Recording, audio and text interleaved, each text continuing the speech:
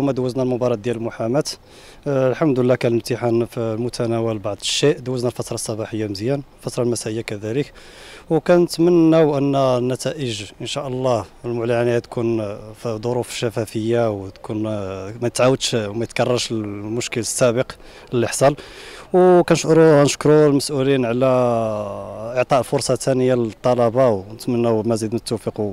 الأسئلة كانت في المتناول. يعني كان صراحة كاين ما كرهناش ياخذوا بعين الاعتبار ال charge شي شوية على حساب الامتحانات حيث 80 في 80 واخا صراحة الوقت هو الوقت كافي ولكن QCM كما هو عرف كما كيتعرف بأنه هو من السهل الممتنع كيتسمى.